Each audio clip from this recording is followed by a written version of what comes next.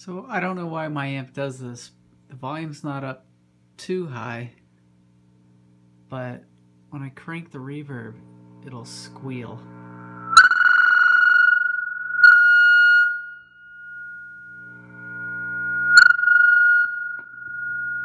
And then mess with that, it goes away.